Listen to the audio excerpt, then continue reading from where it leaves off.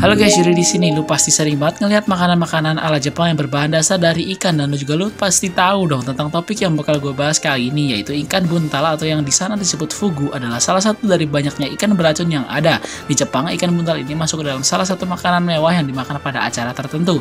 Faktor pertama sekaligus aspek terpenting dari makanan ini adalah kandungan racun yang sangat berbahaya.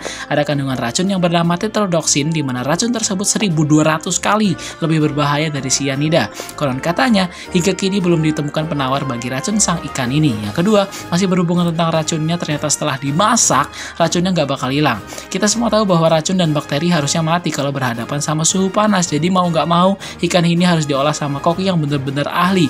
Bahkan ada sertifikat khusus kalau lu mau ngolah ikan ini.